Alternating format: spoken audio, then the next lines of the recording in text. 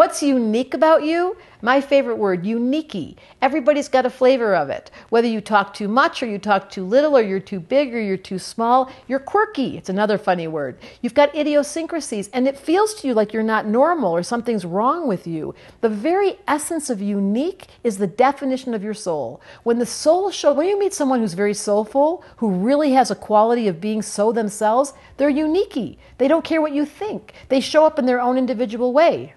Check it out.